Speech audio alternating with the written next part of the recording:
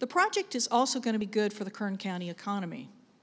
During peak construction, we'll have as many as 500 people actively involved in the build of the project, as well as dozens of project managers and engineers employed in making this project successful.